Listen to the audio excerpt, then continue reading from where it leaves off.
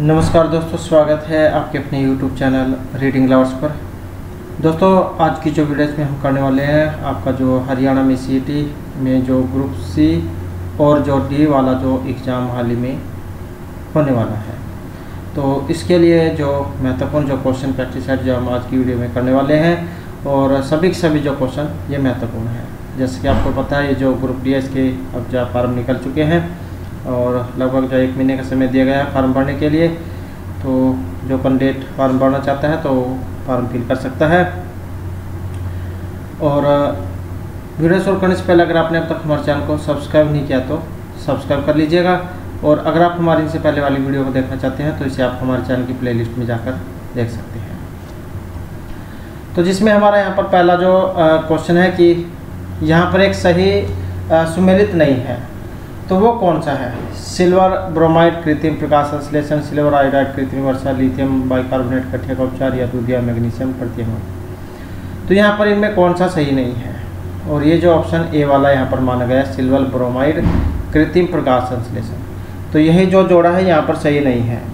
ये जो silver bromide जो होता है, रासायनिक नाम भी कई बार आ जाता है तो ये आपने याद रखना है ए जी बी आर ये इसका रासायनिक नाम है। और इसका जो उपयोग है वो प्रकाश संश्लेषण में नहीं, बल्कि जो फोटोग्राफी जो होती है, उसमें काम में आता है। और कृत्रिम प्रकाश संश्लेषण एक ऐसी रासायनिक प्रक्रिया है जो सूर्य के प्रकाश, पानी और कार्बन डाइऑक्साइड को कार्बोहाइड्रेट तथा ऑक्सीजन में बदलने के लिए प्रकाश संश्लेषण की प्रक्रिया की नकल करती है। तो इसका जो यहाँ पर सही जो देखें तो सिल्वर बोनोमाइड जो है, इसका प्रयोग इसमें नहीं होता है, इसका प्रयोग होता है फोटोग्राफी में।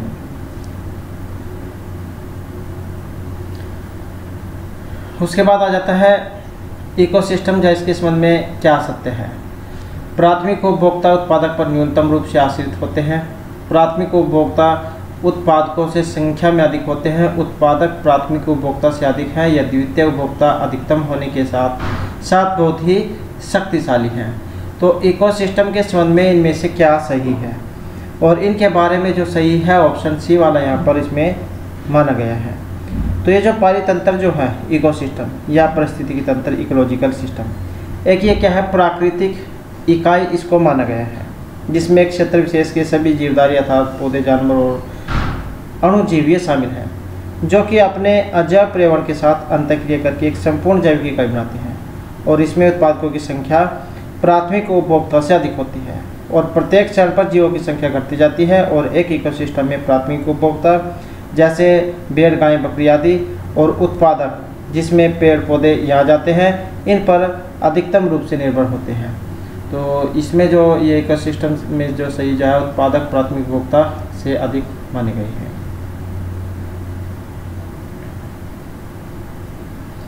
उसके बाद जो आ जाता है, यहाँ पर भी एक सत्य इनमें नहीं है। भूमध्य रेखा से ध्रुव की ओर जाति वित्त में वृद्धि होती है, उष्ण कटिबंधीय शीतोषण क्षेत्र की अपेक्षा अधिक जातियों का आश्रय देते हैं। विशालतम जैव विविधता अमेजनी वर्षा वनों में पाई जाती है। यह जाति विविधता शीतोष्ण क्षेत्रों से ध्रुव की ओर घटती जाती है। तो इनमें से एक सत्य नहीं है और वो कौन से वाला है? और इनमें देखें तो जो ऑप्शन ए वाला है, उसी को यहाँ पर इसमें सही नहीं माना गया है। पृथ्वी पर उष्ण कटिबंधीय क्षेत्र में शीतोष्ण कटिबंधीय क्षेत्रों की तुलना में अधिक जैवीय प्रजातियाँ निवास करती हैं। और भूमध्य रेखा से शीतोष्ण क्षेत्र तथा शीतोष्ण क्षेत्र से ध्रुव की ओर जाने पर यह विविधता घटने लग जाती है। और विश्व में सर्वाधिक जैव विविधता दक्षिण अमेरिका में ब्राज़ील क्षेत्र में स्थित अमेजन के वर्षा वनों में पाई जाती है।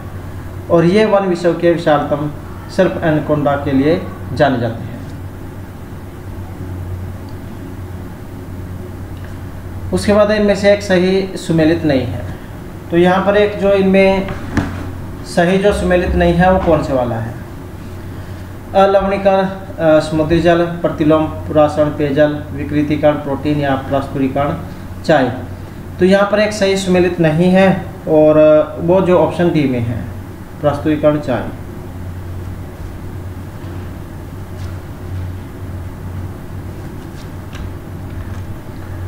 तो यहाँ पर जो हमारा इसमें जो है पास चोरी कारण है, यहाँ पर चार जो हो जाएगा पास चोरी कारण तो यहाँ पर जो विकृतिकरण क्या है?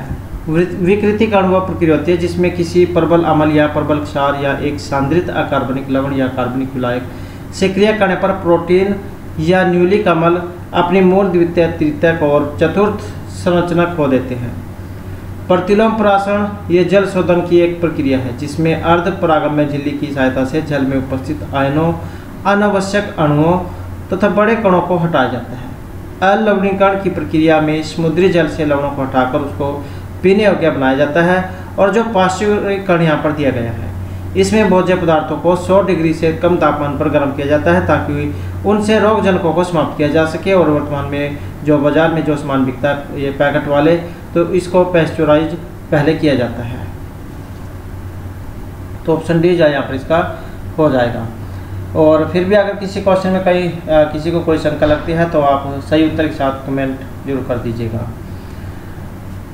नेक्स्ट है, निम्नलिखित घटनाओं को उनके प्रारंभ के कालानुक्रम में व्यवस्थित करें और नीचे दिए गए सही उत्तर को चुनिए। तो सही उत्तर क्या है? यहाँ पर ये आपने बताना है। तो वन्य जीव अधिनियम है, जैव विविधता अधिनियम प्रोजेक्ट टाइगर प्रोजेक्ट हाथी तो कौन से वाला इसमें सही है? तो यही बताना है। तो सही उत्तर कौन सा है? सही उत्तर जो है यहाँ पर इसमें ऑप्शन रहेगा बी वाला। एक, तीन, चार और दो। एक, तीन, चार, दो, एक। ऐसी है, एक, तीन, चार, दो, एक। तो एक, तीन, चार, दो। एक, तीन, चार, दो। तो एक तीन, चार और दो। तो इसी प्रकार से जो है यहाँ पर इनका ये बनेगा। एक, चार, तीन, दो। तो वन्य जीव संरक्षण अधिनियम, उसके बाद प्रोजेक्ट टाइगर, फिर प्रोजेक्ट हाथी और फिर जैव विविधता अधिनियम। ये कालक्रम के अनुसार जो इस प्रकार से ये बनेगा। उसके बाद है टेलीग्राफिक पठार। ये किसका हिस्सा है? उत्तरी अटलांटिक कटक दक्षिण अटलांटिक हिंद महासागर या इनमें से कोई सब नहीं। तो टेलीग्राफिक पठार इनमें से एक हिस्सा है। और ये जो है ऑप्शन ए वाला रहेगा उत्तरी अटलांटिक कटक का। और वास्तव में जो 14,400 किलोमीटर लंबे मध्य अटलांटिक कटक का एक भाग है जो ग्रीनलैंड के दक्षिणी भाग में स्थित है। उसके बाद है मोरिबन डेल्टा निम्नलिखित में से किस डेल्टा का है एक उपभाग है? Krishna Godavari delta, Mahanadi, Bengal delta, Kaveri delta, या इनमें से कोई सभी नहीं। तो यहाँ पर है ये मोरीबन डेल्टा। और इसका जो संबंध है ऑप्शन सी में है। तो ये है बंगाल डेल्टा का। बंगाल डेल्टा गंगा तथा ब्रह्मपुत्र नदियों के बीच में स्थित है। उसके बाद the rise and growth of economic nationalism in India जो है इसके लेखक हैं। Partha सारथीगुप्त, S Gopal, B R Nanda या विपिन चंद्र तो the rise and growth of economic nationalism in India इस पुस्तक के लेखक हैं और इसके जो है ऑप्शन बी वाले यहाँ पर माने गए हैं। तो कौन है ये बिपिन चंद्र है उसके बाद है निम्नलिखित में से भारत के संविधान के किसमें पर्यावरण संरक्षण एवं संवर्धन तथा वन व वन्य जीव की रक्षा के प्रावधान पाए जाते हैं। तो निम्नलिखित में से भारत के संविधान के किसमें पर्यावरण संरक्षण और संवर्धन और वन्य, वन व वन्य जीव की रक्षा के प्रावधान है। केवल राज्य के नीति निर्देशक तत्वों में, केवल मूल कर्तव्य में, ए और बी दोनों में या इनमें से कोई सा भी नहीं। और यहाँ पर जो इनमें रहेगा ऑप्शन है सी वाला। तो इन दोनों में माने गए हैं। तो ये जो भारत का जो संविधान है, भाग चार भाग चार में ए, इसमें अनुच्छेद है इक्यावन ए इक्यावन ए। तो इसमें पर्यावरण संरक्षण और संवर्धन तथा वन एवं वन्य जीव की रक्षा, इनका प्रावधान है। और भारतीय संविधान में मौलिक कर्तव्यों का जो प्रावधान, ये सोवियत संघ के संविधान से लिया गया है। और सरदार सवर्ण सिंह समिति की सिफारिश के आधार पर बयालीसवा जो संशोधन हुआ था, उन्नीस सौ छिहत्तर में। बयालीसवा संशोधन जो हुआ था, उन्नीस में, इसके द्वारा इनको संविधान में शामिल किया गया था।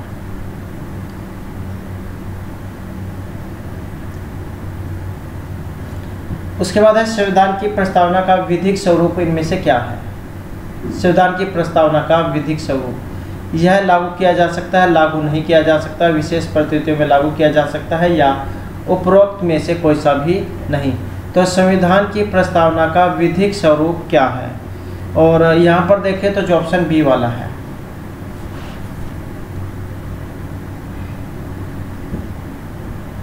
तो क्या है, इसे लागू नहीं किया जा सकता।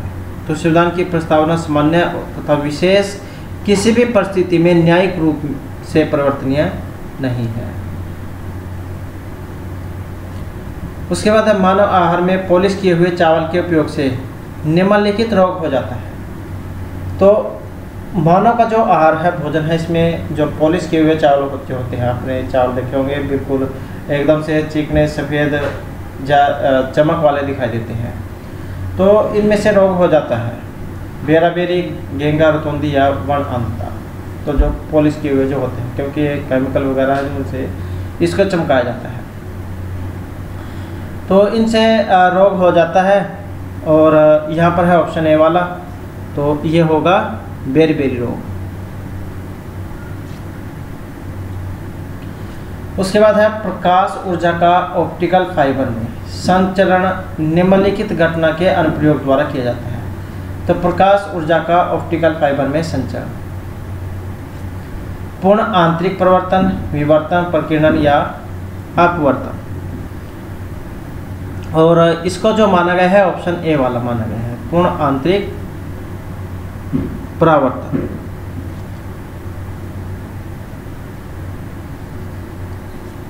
उसके बाद क्वेश्चन आ जाता है इनमें से एल्बिडो तो ये जो एल्बिडो ये क्या है? संचार शक्ति है, अवशोषित शक्ति है, उत्सर्जक है या वापसी की शक्ति है। तो एल्बिडो क्या है? और इसको जो यहाँ पर माना गया है ऑप्शन डी में। तो एक ये वापसी की शक्ति होती है। अल्बिडो का संबंध जो है ये, जो संचार शक्ति जो है उससे माना गया है। तो सॉरी ये संचार शक्ति। तो संचार शक्ति जो है इससे माना गया है। और भूगोल में किसी स्थान पर आपतित संपूर्ण विकिरण में से जितना विकिरण सतह द्वारा परिवर्तित कर कर दिया जाता है तो उसको अल्बिडो कहा जाता है। तो ये संचार शक्ति जो है यहाँ पर इसमें हो जाएगा। तो यहाँ पर अगर देखें तो अल्बिडो जो है, ये जो ऑप्शन डी वाला इसमें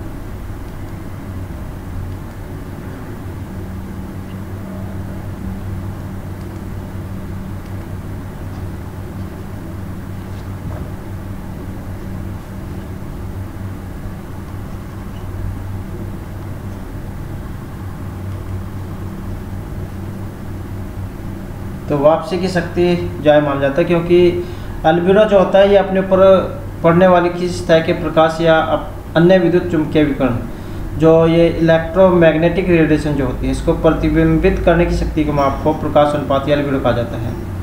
और कोई वस्तु अपने ऊपर पड़ने वाले प्रकाश को पूरी तरह से वापस चमका देती है तो उसका अल्बिडो एक पॉइंट ज़ीरो या प्रतिशत, सौ प्रतिशत कहा जाता है। तो ये वापसी की शक्ति जो आप इसे यहाँ पर कह सकते हैं तो अल्बिडो जाइए ही, यहाँ पर इसका सही आंसर रहेगा, वापसी की शक्ति।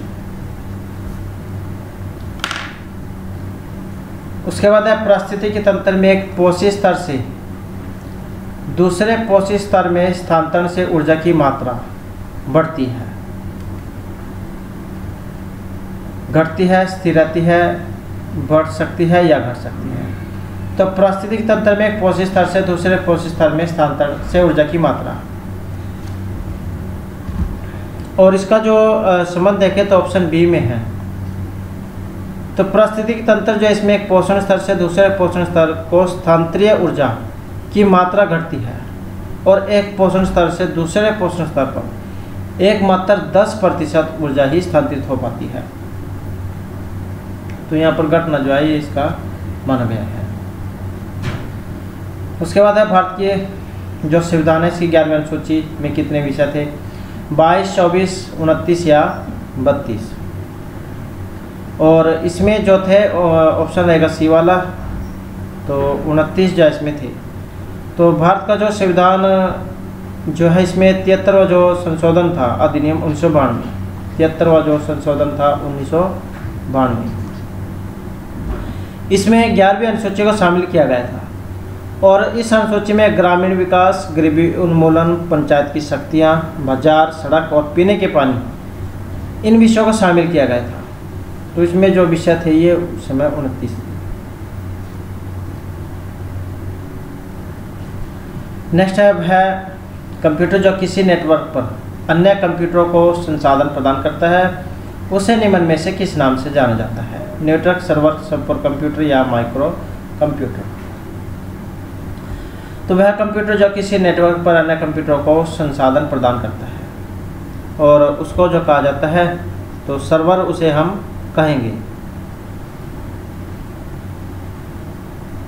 सर्वर जो होता है, ये विभिन्न फंक्शनैलिटीज़ को प्रोवाइड करता है, जिन्हें अक्सर सर्विस कहा जाता है। जैसे कि डेटा या रिसोर्स को मल्टीपल क्लाइंट पर शेयर करना, या क्लाइंट के लिए कंप्यूटेशन को परफॉर्म करना। और एक सर्वर जो होता है, ये मल्टीपल क्लाइंट को सर्व करता है, या एक सिग्नल क्लाइंट मल्टीपल सर्वर का इस्तेमाल करता है। और ये जो क्लाइंट प्रोसेस जो है, एक ही डिवाइस पर रन हो सकती है, या नेटवर्क पर सर्वर कनेक्ट हो सकता है। तो इसका संबंध जायज़ सर्वर से माना गया है।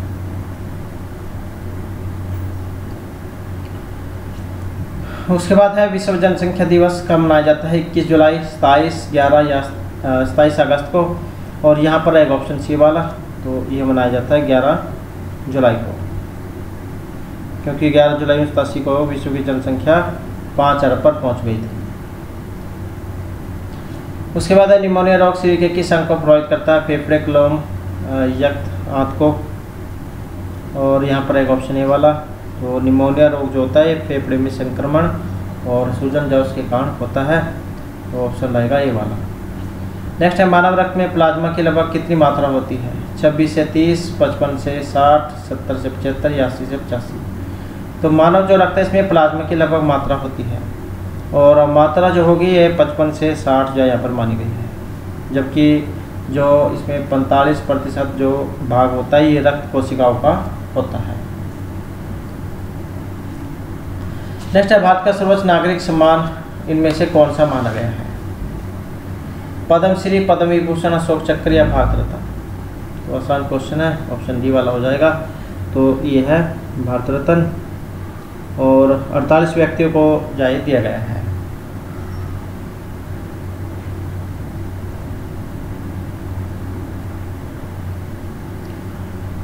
उसके बाद जो हमारे यहाँ पर जो रीजनिंग जो इससे संबंधित क्वेश्चन आ जाते हैं। तो यहाँ पर क्या है? एक लुप्त संख्या है। ये जो लुप्त संख्या ये बतानी है कि इनमें कौन से वाली आएगी?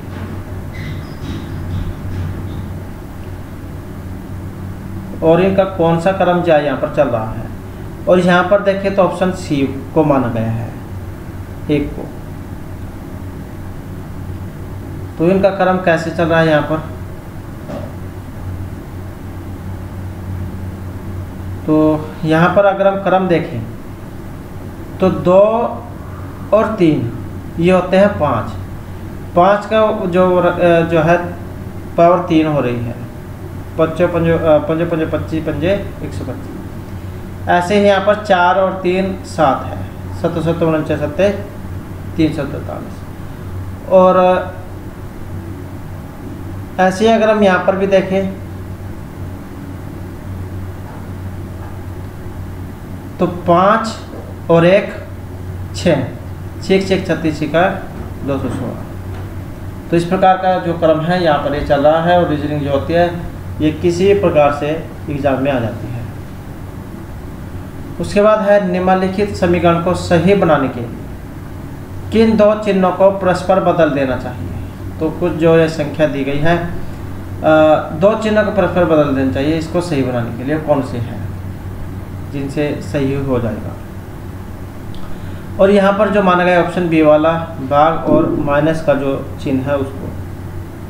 तो जब हम इसको यहाँ पर बदल देंगे तो इसका क्या आएगा? तो बोर्ड मास वाला जो फार्मूला जो होता है आपने लगाना है, भाग गुणा जमा माइनस पहले भाग, फिर गुणा, फिर जमा, फिर माइनस ऐसे क्रम में इसको आपने हल करना है। और जब हम इसे हल करेंगे तो उनसठ बराबर उनसठ यहाँ पर इसका आएगा।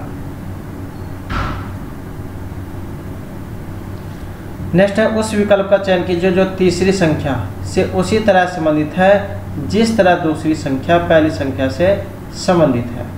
जैसे बारह, एक सौ बानवे है। ऐसे पंद्रह का कैसे आएगा?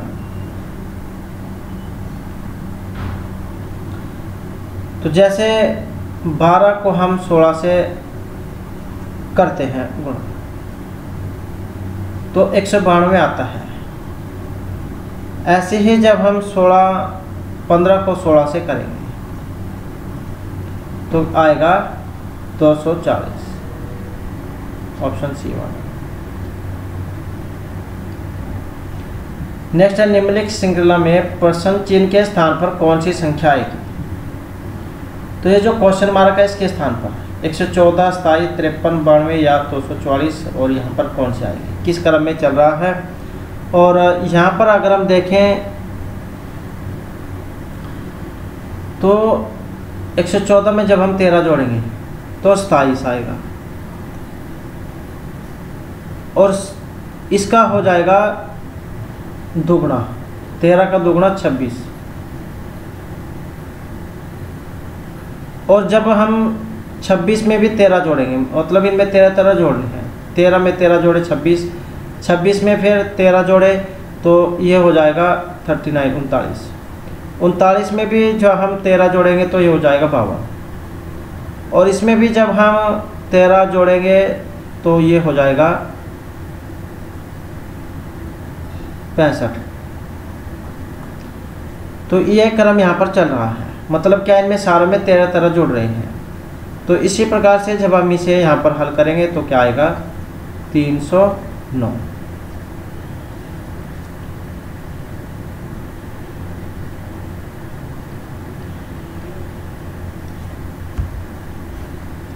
नेक्स्ट आ जाता है यहाँ पर एक कोट भाषा में जो शब्द आया है लेमिनेट इसको जब हम इस कोड में लिखते हैं तो उसी भाषा में इसको जब हम लिखेंगे तो इनमें कौन सा वाला कोड आएगा?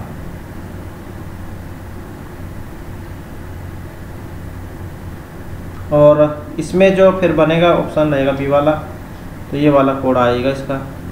तो जैसे ये क्या है? जैसे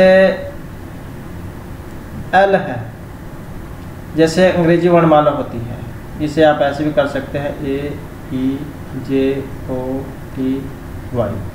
एक, पाँच, दस, पंद्रह, बीस, पच्चीस। तो ऐसे इसे आप आसानी से फार्मूले को याद रखकर इसे हल कर सकते हैं। एल जो एल कौन से नंबर पे है? तो एल जो आता है, ये वर्णमाला में बारहवें नंबर पर आता है। ए क्या है? पहला है, ऐसे ही एम है। एम कौन सा है? तेरह है। तो इस प्रकार से जो क्रम है, वो जो वर्णमाला है, उसके अनुसार आया है। और जब हम इसे भी रखेंगे तो ऐसे कुछ बनेगा ही। तो आप इसके अंग्रेज़ी वर्णमाला जो उसके अनुसार इसको रख कर देख सकते हैं।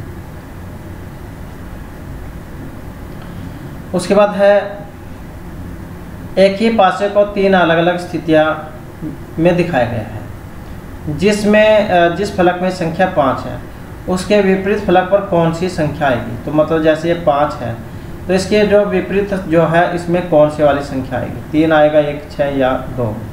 तो कौन से वाली जो है, यहाँ पर संख्या आएगी? और यहाँ पर देखें तो पाँच के विपरीत कौन सा आएगा? तो यहाँ पर आएगा ऑप्शन बी में तो दो जो है, आएगा।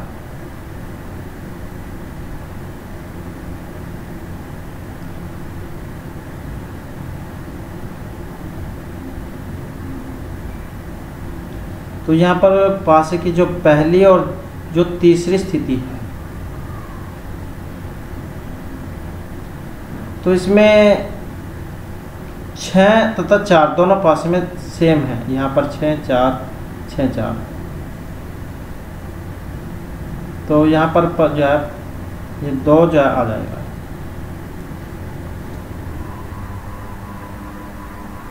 उसके बाद क्वेश्चन यहाँ पर ए तथा बी का अर्थ। ये जो प्लस है, इसका मतलब कह सकते हैं आपकी बहन है। माइनस जो है, इसका पुत्री है और गुणा का मतलब भाई है और भाग जो है, इसका मतलब पति है। तो ये वाला जो क्वेश्चन है, जब हम इसके स्थान पर इसको रख कर देखेंगे तो पी वी से किस प्रकार संबंधित है, यही बताना है। और जब हम इसे यहाँ पर हल करेंगे तो इसमें बनेगा ऑप्शन सी वाला। तो इसका मामा जो है यहाँ पर ये इनमें बनेगा। उसके बाद है निम्नलिखित चार शब्दों में से तीन शब्द किसी प्रकार से एक समान है और एक शब्द असमान है। तो जो असमान शब्द है, वो आप बताना है कौन कौन से वाला है।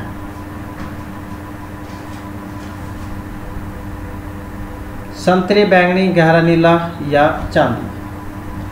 और यहाँ पर देखें तो जो ऑप्शन डी वाला है तो और सारे कलर हैं। ये चांदी को छोड़कर चांदी जो है, ये धातु वगैरह जो है, उसमें आ जाती है।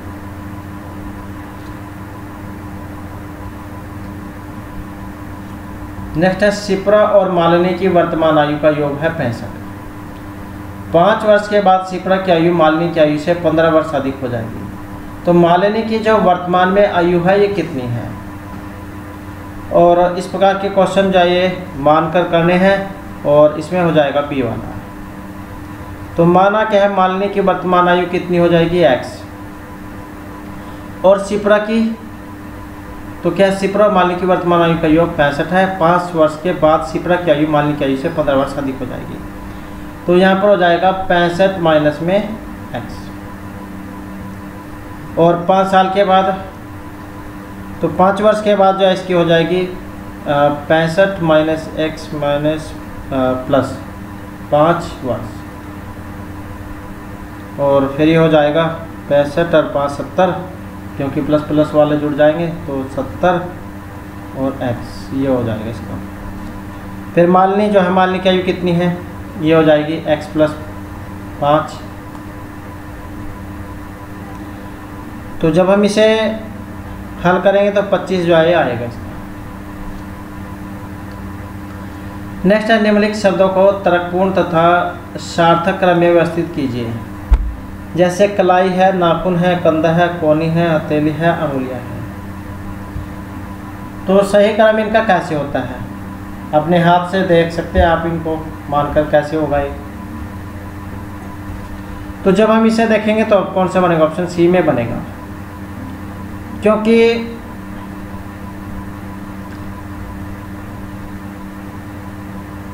यहाँ पर हाँ क्योंकि कंधा होता है हमारा। कंधे में क्या जुड़ी होती है? कोहनी जुड़ी होती है। कोहनी के बाद आ जाती है कलाई, जो गड़ी बांधने वाली, या जिस पर धागा बांधा जाता है, कलाई।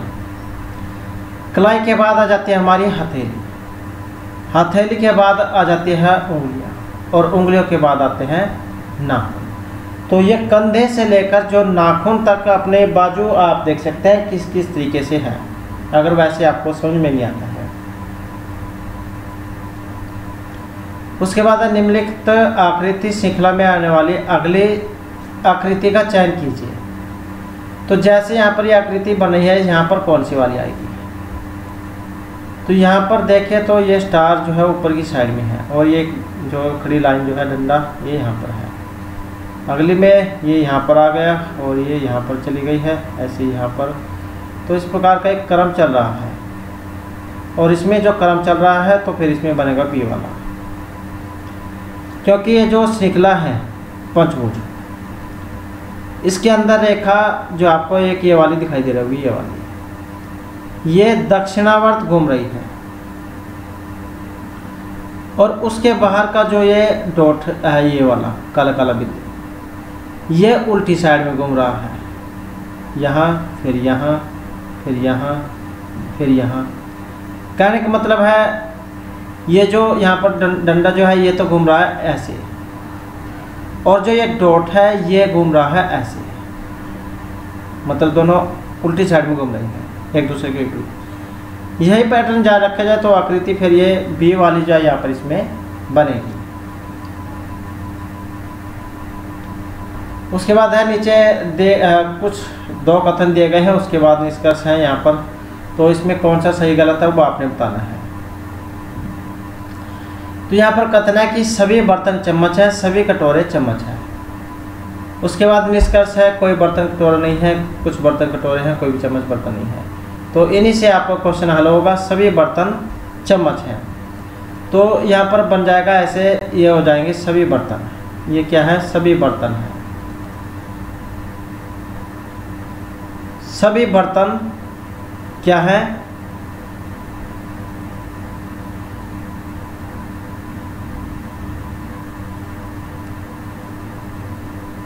चम्मच है। तो ये जैसे यहाँ पर बना लेते हैं। तो ये जैसे सब बर्तन है।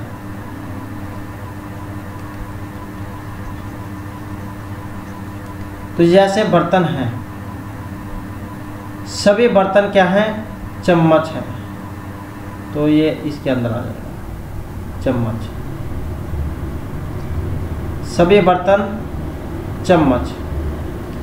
सभी कटोरे चम्मच है।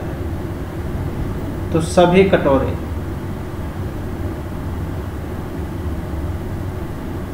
ऐसे ये हो जाएँगे कटोरे।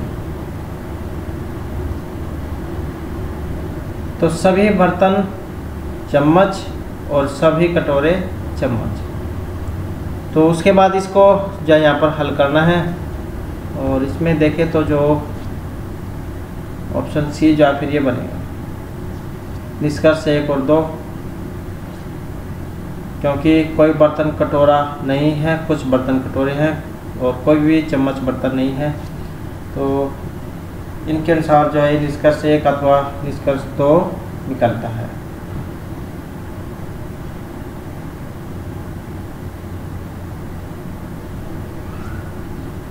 उसके बाद क्वेश्चन है, यहाँ पर यदि भाग का अर्थ जमा माइनस का अर्थ भाग, गुणा का माइनस और जमा का गुणा है तो ये जो यहाँ पर क्वेश्चन दिया गया है, मान वाला, ये आपने हल करना है। तो ये जो संख्या है, इसमें इनके स्थान पर ये वाले रख लेना, जैसे भाग है भाग की जगह पर जमा वाला चिन्ह यहाँ पर आ जाएगा। तो ये जो चिन्ह है, इनके स्थान पर आपने ये वाले रखने जो यहाँ पर बताई गई है। बोर्ड मास का नियम आपने लगा लेना है, और जब हम इसे हल करेंगे तो जाए इसका चार, माइनस चार बटे सत्रह, माइनस पैंतालीस, बराबर ज़ीरो, इस प्रकार से कुछ आएगा ही। तो फिर इसमें जो ऑप्शन ये वाला ये बनेगा। क्योंकि बोर्ड मास जो होता है बाग गुणा जमा माइनस वो वाला आपने इसमें नियम निकालना है। उसके बाद यहाँ पर सेम वैसे ही यहाँ पर भी एक कथन वाला क्वेश्चन है, कठिन परिश्रम का कोई स्थानापन या विकल्प नहीं है। निष्कर्ष निकलता है कि कठिन परिश्रम सफलता की कुंजी है, लक्ष्यों को पाने के छोटे रास्ते नहीं हैं। केवल निष्कर्ष एक अनुसरण करता है, दो अनुसरण करता है, एक और दो अनुसरण करता है, न तो एक नहीं दो। तो कठिन परिश्रम का कोई स्थानापन या विकल्प नहीं है। और यहाँ पर देखें तो ऑप्शन सी जो है इसका बनता है। निष्कर्ष एक और दो अनुसरण करते हैं। कठिन परिश्रम सफलता की कुंजी है, क्योंकि जब तक आप मेहनत नहीं करोगे, आप लक्ष्य को प्राप्त नहीं कर पाओगे। और लक्ष्य को पाने के छोटे रास्ते नहीं हैं। तो क्योंकि अगर आप एक छत पर भी चढ़ते हैं, तब भी आपको जो क्रम वाइज जो सीढ़ियाँ हैं, वही चढ़नी पड़ेगी। तो ये जो है, इसको यहाँ पर माना गया है। उसके बाद आ जाता है यहाँ पर, धनुष जो है, पूर्व दिशा की ओर यात्रा करता है। विषव उत्तर दिशा की ओर यात्रा करता है। गीता और तानिया विपरीत दिशाओं में यात्रा करती है। तानिया धनुष के दाई ओर यात्रा करती है। नीचे दिए गए कौन सा विवरण यहाँ पर निश्चित रूप से सही होगा। तो यहाँ पर भी जो आपने इसका जो डायग्राम जो है वो बनाना होगा, तभी क्या यहाँ पर ये हल होगा।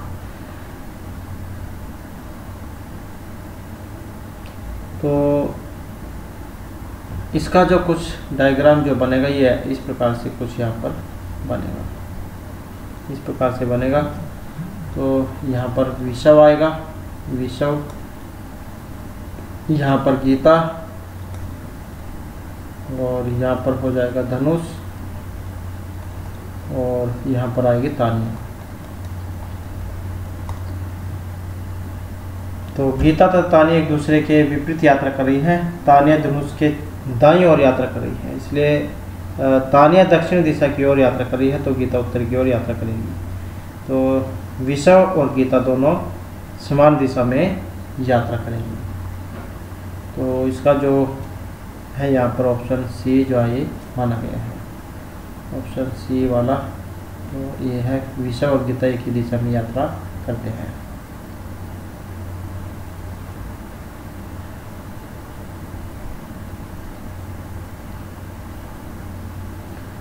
उसके बाद जो हमारे यहाँ पर जो हिंदी जॉब से कुछ जो महत्वपूर्ण क्वेश्चन है, वो आ जाते हैं। जिसमें जो हमारा पहला क्वेश्चन है, वर्ण तालिका के अनुसार हर्षव दीर्घ एम्प्लुत, ये क्या है? स्वर है, व्यंजन है, मात्रा है या फिर विसर्ग है? तो वर्ण तालिका जो उसके अनुसार हर्षव दीर्घ और प्लुत। हर्षव क्या होता है? जिसको बोलने में कम समय लगता है। दीर्घ जिसे हर्षव से दोगुना समय लगता है और प्लुत जिसे इन दोनों से तिगुना समय लगता है। जैसे आपने इस प्रकार का या ओम ये लिखा हुआ दिखाई देगा होगा। तो ये प्लुत जो है उसमें आता है। तो ये क्या है? और इनका जो माना गया है, ऑप्शन ए वाला माना गया है। तो ये प्लुत स्वर जो उसमें आ जाते हैं। हर्षव स्वर, अ ई ओ री। दीर्घ, जिनसे इनको बोलने में दोगुना समय लगता है। जिसमें आ, दीर्घ ई दीर्घ ओ ए, आई ओ औ और प्लुत जिसमें इनसे ज़्यादा समय लगेगा, जैसे ये वाला है। ओ। उसके बाद है, यहाँ पर वर्तनी के अनुसार यहाँ पर एक अशुद्ध है। और अशुद्ध या फिर ये कौन से वाला है। यहाँ पर देखें तो जो ऑप्शन बी वाला है, उसी को माना गया है।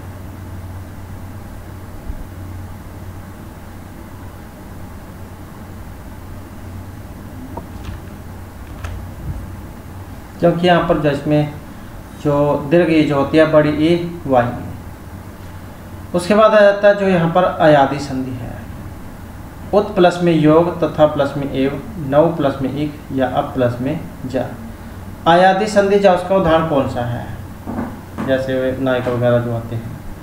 तो कौन सा होगा यहाँ पर? जो ऑप्शन डी में है।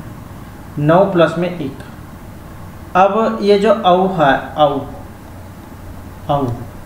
औ जो है, इसको होता है आव।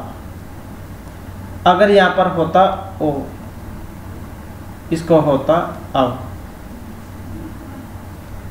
तो ये अगर संस्कृत में आपने पढ़ा होगा तो ये चौवा एक सूत्र है, जो इसमें ये करता है, ये वाला काम। औ औ औ को आव, ओ को आव, ए को ए और बढ़िया जो होती है, उसको आए। तो यहाँ पर जो है, इसमें नव जो है, इसको आव होकर नाविक जाए बनेगा तो उसका है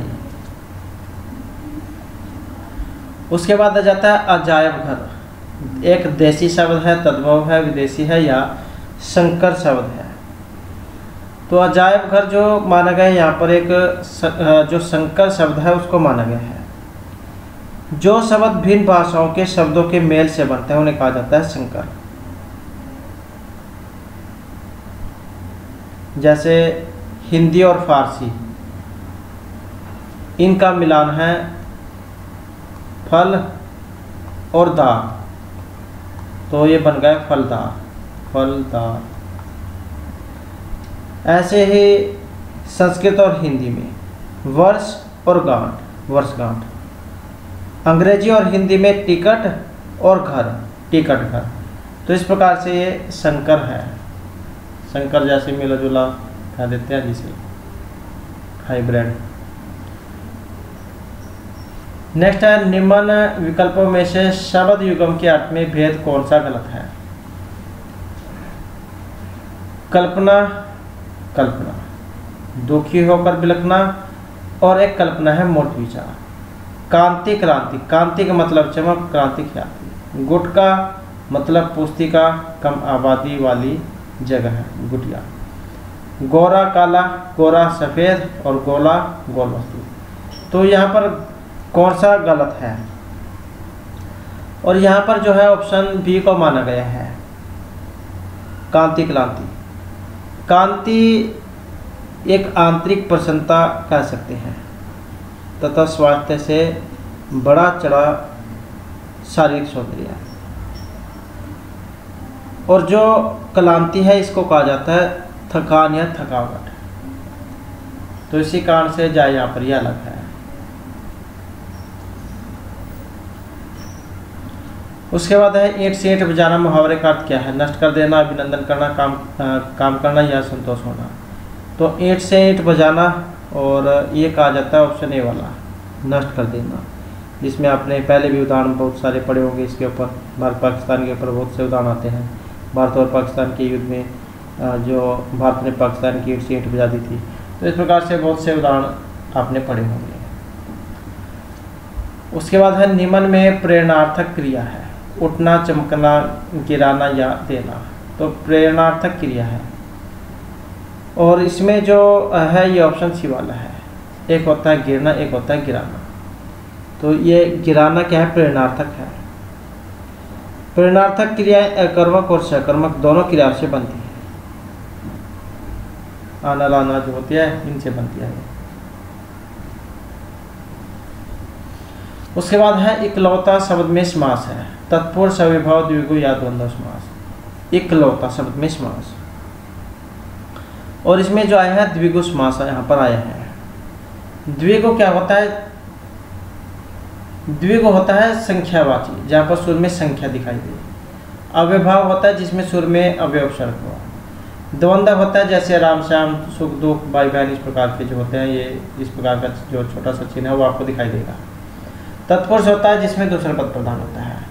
तो ये इकलौता तो जो आया है, ये इकलौती संतान जो कह देते हैं, उसके लिए आया है। तो द्विग समास यहाँ पर हो जाएगा। तो जिस मास का पूरा पद संख्यावाची हो, संख्यावाचक विशेषण हो तो उसे द्विगु मास कहते हैं। जैसे इक लौता इकलौता मतलब एक ही हो। उसके बाद इनमें से कौन सा वाक्य शुद्ध है? फूलों की सौंदर्य दर्शनीय है, यहाँ ताज़ा और गर्म भैंस का दूध मिलता है।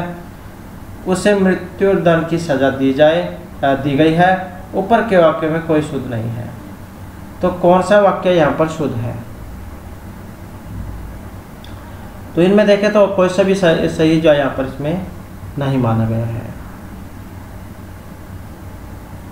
यहाँ फूलों की सौंदर्यता दर्शनीय है। यहाँ इसका बनेगा फूलों का सौंदर्य दर्शनीय है। और यहाँ ताज़ा और गर्म भैंस का दूध मिलता है कि जगह पर क्या बनना चाहिए? था यहाँ भैंस का ताज़ा और गर्म दूध मिलता है। यहाँ भैंस का ताज़ा एवं गर्म दूध मिलता है। और उसे मृत्यु दंड की सज़ा दी गई। उसका बनेगा, उसे मृत्यु दंड दिया गया। दिया गया है। तो इस प्रकार से होने चाहिए थे। उसके बाद है, मुख चंद्रमा के समान है। यहाँ कौन सा अलंकार है? मुख जो है, वो चंद्रमा के समान है। उपमा श्लेष यमक वक्रोक्ति। तो यहाँ पर क्या है, इसमें उपमा दी गई है।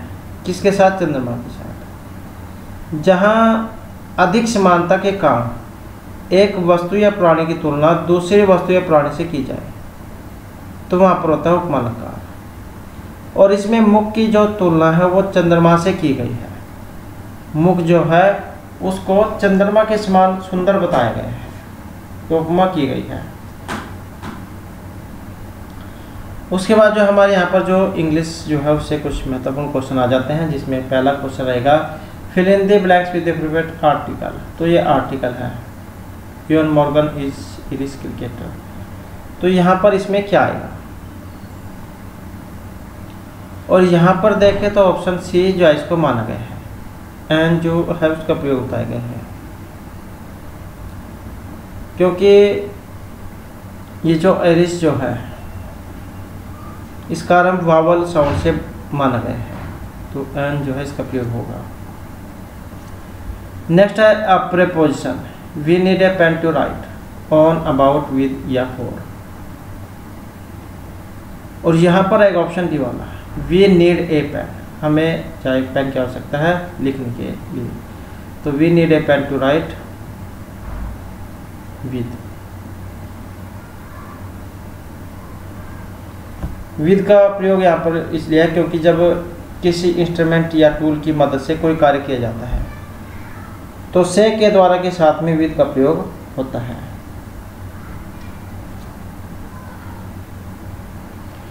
उसके बाद है यहाँ पर fill in the blanks with appropriate verb तो ये वर्ब है यहाँ पर। It training since last evening तो सिंस है लास्ट इवनिंग है। वाज हैव बीन इज़ या हैज़ बीन तो यहाँ पर जो है इसमें डी वाला हैज़ बीन माना गया है। इट हैज़ बीन क्योंकि जो वाक्य है वो प्रजेंट परफेक्ट कंटिन्यूज में है। अगर raining it has been raining since last evening पिछले शाम से वर्षा हो रही है। उसके बाद है one who is good at sport जो खेल जो है उसमें अच्छा हो। उसको क्या कहा जाएगा? ऑथर आर्टिस्ट एथलेटिक या आर्किटेक्ट और उसको क्या कहा जाता है? तो उसे क्या कहा जाता है? उसे कहा जाता है एथलीट जो खेल से संबंधित हो एथलीट क्योंकि ऑथर जो वो तो लेखक वगैरह उनके लिए आता है। ये चित्रकारी के लिए आता है। और ये आर्किटेक्ट जो मकान नक्शे वगैरह बनाता है तो उनके लिए आता है। उसके बाद है what is the antonym of the word जो दिया गया है। तो इसका है एंटोनियम्स अब जो इसका एंटोनियम जो बनेगा, विपरीत, वो कौन से वाला बनेगा? इसका मतलब होता है सांस लेना, खींचना। और जब हम इसका इनमें से बनाएँगे तो यह बनेगा ऑप्शन सी वाला। एक्सेल सांस छोड़ना। तो ये है सांस लेना इनहेलर आपने पढ़ा होगा। इनहेलर मतलब अपनी ओर खींचना और एक्सेल जो है छोड़ना है। तो सांस लेना या खींचना और इसका जो विपरीत जो है, उल्टा, वो बनेगा सांस छोड़ना। और ये जो यहाँ पर ये जो है, इसका मतलब होता है छींक मारना। और आल हेल्स जो है, इसका मतलब होता है सभी स्वागत करें। एक क्रायोप्रिटी इस प्रकार से है उसके बाद what is the meaning of expression spick and span इसका मतलब क्या होता है? We can give smart and dirty smart and clean clean and sure तो इसका मतलब क्या होता है? और इसका जो अर्थ है ऑप्शन सी से है स्मार्ट एंड क्लीन से। साफ़, सुथरा। उसके बाद है which of the following sentence is an future progressive tense तो फ्यूचर वाला कौन सा है I am going to Delhi now I shall be going to New York I shall have gone to the market या I have been going तो क्या है यहाँ पर फ्यूचर प्रोग्रेसिव वाला बताना है। और इसमें देखें तो जो ऑप्शन बी वाला है, उसको माना गया है। I shall be going to New York subject plus shall या विल के साथ बी और वर्ब की जो फॉर्म है उसके साथ आईएनजी और ऑब्जेक्ट उसके बाद जो हमारे यहाँ पर जो हरियाणा जी के जो है, इसके क्वेश्चन आ जाते हैं, जिसमें पहला क्वेश्चन है, अठारह सौ सत्तावन के स्वतंत्रता संग्राम में बल्लभगढ़ के किस राजा ने बलिदान दिया था? प्रताप सिंह, नाहर सिंह, विजय सिंह या महावीर सिंह ने? तो जो अठारह सौ सतावन का जो स्वतंत्रता संग्राम था, और इसका जो संबंध है ऑप्शन सी से है। बल्लभगढ़ के थे राजा नाहर सिंह। 9 जनवरी अठारह सौ अट्ठावन को राजा नाहर सिंह को अंग्रेज़ों के द्वारा फांसी दी गई, और 8 जनवरी को नाहर सिंह के बलिदान दिवस के रूप में मनाया जाता है। तो बल्लभगढ़ जो है, इनका संबंध राजा नाहर सिंह से है। ये पिछला जो सी का एग्ज़ाम था, उसमें भी जानकारी क्वेश्चन आई हुआ था। पल्लवगढ़ से संबंधित थे, राजनाथ सिंह।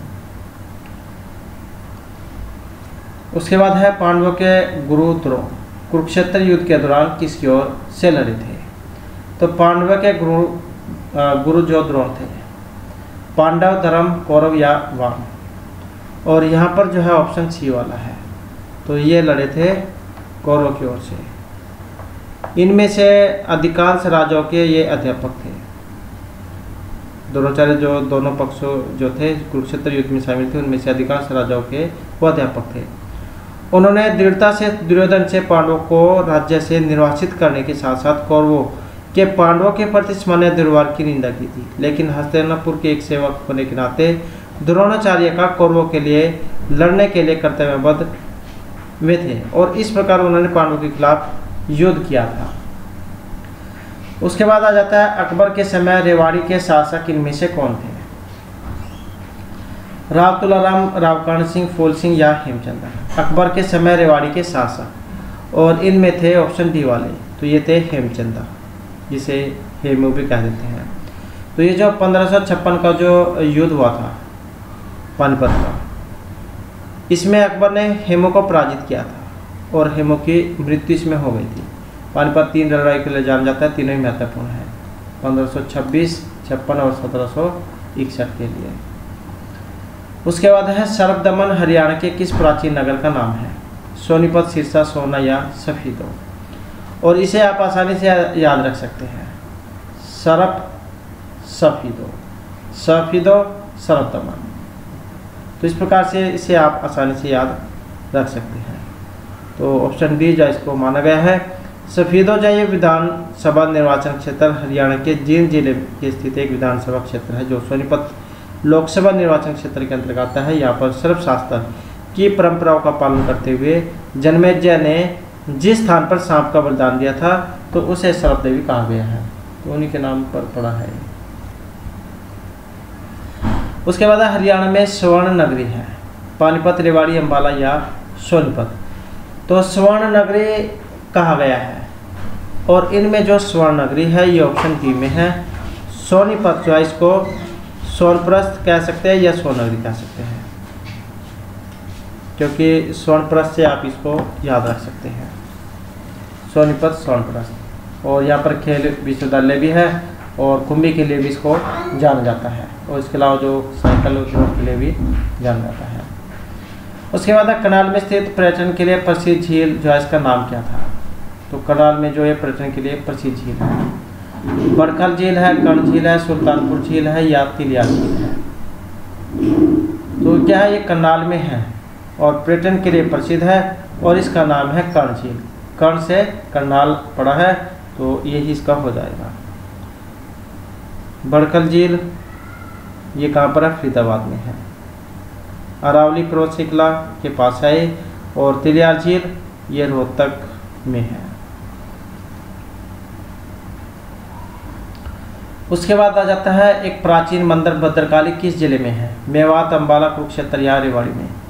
तो एक प्राचीन मंदिर है भद्रकाली और इसका जो यहाँ पर संबंध जो ऑप्शन बी से है, वो तो कहाँ पर है? ये कुरुक्षेत्र में है।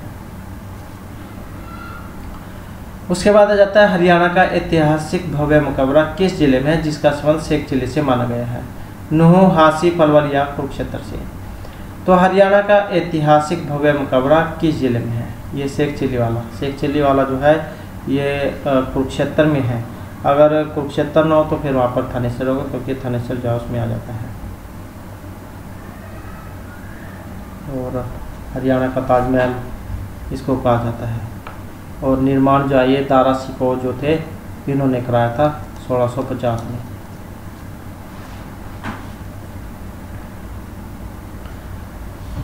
उसके बाद जो क्वेश्चन आ जाता है, चौधरी देवीलाल हर्बल पार्क, ये किस ज़िले में है? रेवाड़ी यमुनगर मेवात या पानीपत में? तो चौधरी देवीलाल हर्बल पार्क और ये कहाँ पर है? तो ये यमुनगर में है। उसके बाद आ जाता है हरियाणा के निम्नलिखित में से किस ज़िले की सीमा दो राज्यों से लगती है? यमुनगर रेवाड़ी, महेंद्रगढ़ या चरखी दादरी? और हाल ही में क्वेश्चन आया हुआ था, हरियाणा की सीमा कितने राज्यों से लगती है? तो वो थी पाँच। अब किस ज़िले की सीमा दो राज्यों से लगती है? तो ये इनमें से बताना था और ये ऑप्शन ए वाला है। यमुनानगर। तो बाईस ज़िले हैं। तो ये पंजाब और हिमाचल प्रदेश के उत्तर और राजस्थान से पश्चिम और दक्षिण में राज्य में सीमा बनाता है। और यमुना नदी उत्तराखंड और उत्तर प्रदेश के साथ अपनी पूर्वी सीमा को विभाजित करती है। और हरियाणा क्या है, ये दिल्ली के उत्तरी, पश्चिमी और दक्षिण सीमाओं का निर्माण करते हुए। तीन तरफ़ दिल्ली से गिरा हुआ है, इसलिए हरियाणा एक बड़ा क्षेत्र, राष्ट्रीय राजधानी क्षेत्र में शामिल है। यमुनानगर, हरियाणा का एक जिला है, जो दो राज्यों, हिमाचल प्रदेश और उत्तर प्रदेश, के साथ अपनी सीमा बनाता है। और ये जो प्लाईवुड जो उद्योग, उसके लिए जाना जाता है, कागज़ उद्योग के लिए। तो ये दो राज्य जो है, यहाँ पर इसमें हो जाएँगे। हिमाचल प्रदेश, उत्तर प्रदेश। उसके बाद हरियाणा में कितने ज़िले हैं? आसान क्वेश्चन है। ऑप्शन सी हो जाएगा इसका। कब बना था हरियाणा का गठन? उन्नीस में, एक नंबर, उन्नीस को।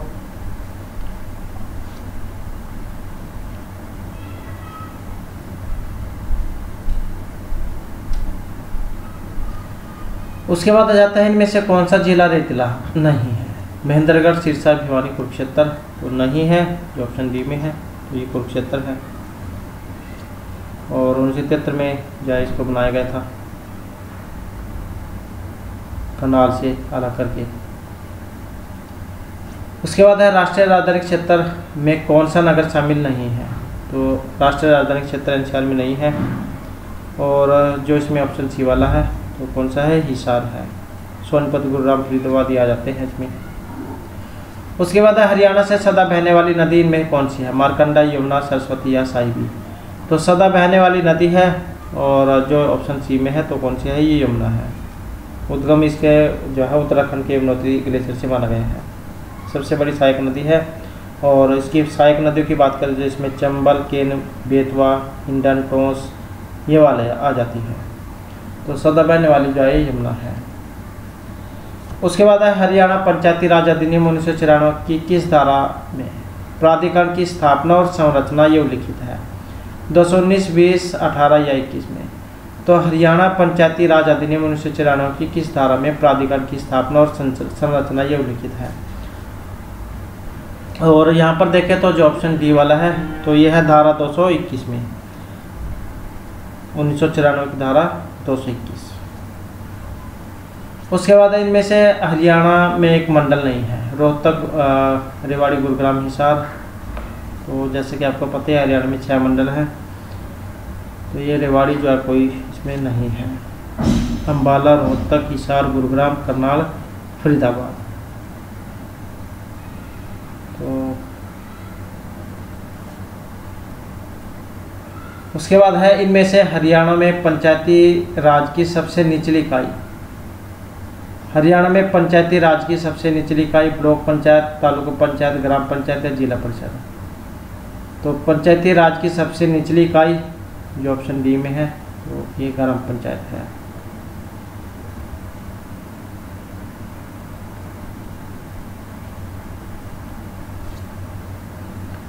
उसके बाद हरियाणा में कुल डिवीज़न है।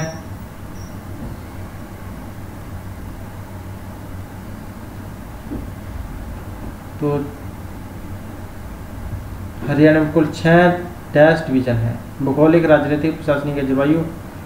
तो ऑप्शन सी जो इसका हो जाएगा। तो ये प्रशासनिक आ जाता है यहाँ पर। तो प्रशासनिक आधार पर हरियाणा को बाईस जिलों में बांटा गया है, जो छः मंडलों में बटा हुआ है और इन बाईस जिलों में बहत्तर सब डिवीज़न तिरानवे तहसील, पचास उप तहसील, एक सौ चालीस सामुदायिक विकास खंड, एक सौ चौवन नगर और कस्बे, बासठ बारह ग्राम, पंचायती और अड़सठ, इकतालीस ये गाँव हैं। और छः मंडल है, अम्बाला, फरीदाबाद, गुरुग्राम, हिसार, रोहतक, करनाल। उसके बाद हरियाणा का नूह जिला प्रशासनिक डिवीज़न के अंतर्गत आता है। तो इन्हें नूह जाए कौन से मंडल में आता है? प्रशासनिक डिवीज़न के अंतर्गत आता है नूह। तो ये आएगा ऑप्शन सी फरीदाबाद।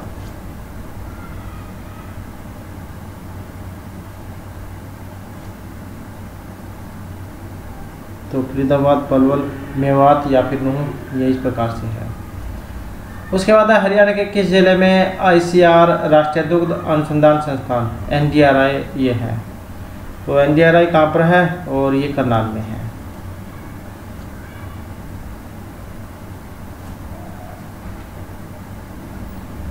उसके बाद आ जाता है इनमें से हरियाणा में सबसे बड़ी अनाज मंडी कहाँ पर है। नीलाखेड़ी, सिरसा, भिवानी या में तो हरियाणा में सबसे बड़ी अनाज मंडी है। और ये कहाँ पर है? ये लाभों में है।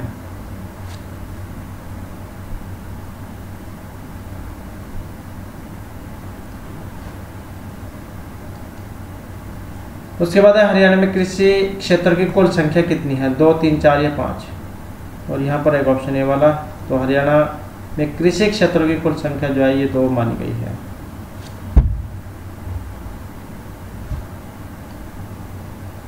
उसके बाद हरियाणा का सबसे कम साक्षरता वाला जिला कौन सा है? महेंद्रगढ़ मेवात, रेवाड़ी या भिवानी। तो सबसे कम साक्षरता वाला जिला? और ये है ऑप्शन बी वाला, मेवात, क्योंकि जनसंख्या में तो ज़्यादा पर है। और जहाँ पर जनसंख्या ज़्यादा होगी तो पढ़े लिखे वहाँ पर अपने आप ही कम होंगे। उसके बाद है, हरियाणवी भाषा लिखने के लिए किस लिपि का उपयोग किया जाता है? संस्कृत, देवनागरी, हिंदी या इनमें से कोई सब नहीं। तो हिंदी भाषा लिखने के लिए आसान क्वेश्चन है ऑप्शन सी वाला हो जाएगा, देवनागरी का। उसके बाद आ जाता है जोगिंदर सिंह। इनमें से एक साहित्यकार है।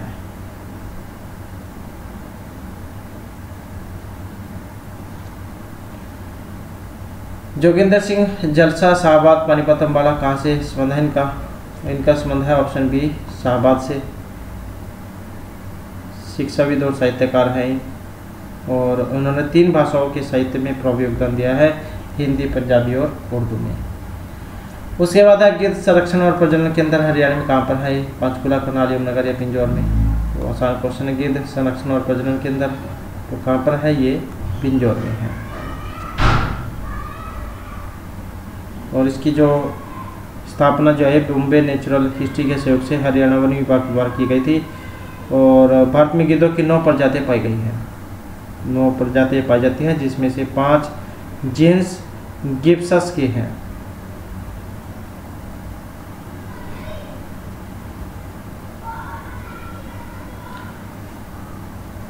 उसके बाद है सुल्तान फ़िल्म में हरियाणा का पहलवान की भूमिका अदा की थी।